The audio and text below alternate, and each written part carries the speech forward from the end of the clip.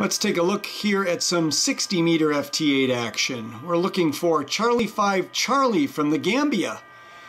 Time is 0146 Zulu, which is 8.46 p.m. Central Daylight Time. One of these signals in here is Charlie 5 Charlie. I'm not sure what's he. He's at uh, 800 it looks like. So probably somewhere in this area right here. And we'll take a look at the computer. We're on several minutes later. It's 0203 Zulu, now 9.03 p.m. Central Daylight Time. Trying to get a live pass of him here. But uh, unfortunately, his signal. Oh, no, there it is. He's working Yankee Tango 1 Quebec.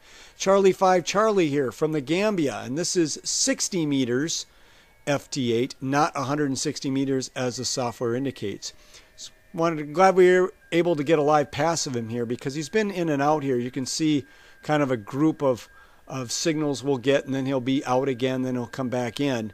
Um, and I wanted to show you something, and it's kind of a good lesson for those of you who work FT8. And he worked at 0138. I'm going to take the monitor off here for a moment. At 013830, he worked at Golf Zero, this Golf Zero Kilo Papa Hotel.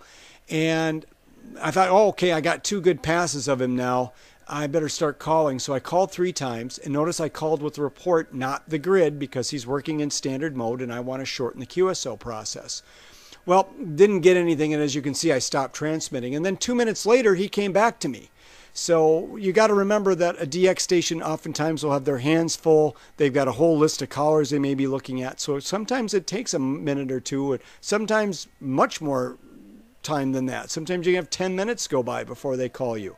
But I was vigilant, and he called me, and I my software erroneously gave him the wrong report right away, but I quickly corrected that, and he got me in the log for a new one on 60 meters. Appreciate that.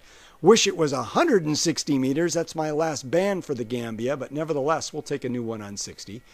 And he came in for a little bit, and this WA4 kind of showed up on his frequency, and now he's back again. And let's go back to monitor and see if we can pick up anything. But uh, we appreciate the Charlie 5 Charlie team's activation from the Gambia. It's been a little bit of time before that uh, entity was activated by a team, and hopefully DXers will be able to get them in their logs. Charlie 5 Charlie from the Gambia here on 60 meter FT8.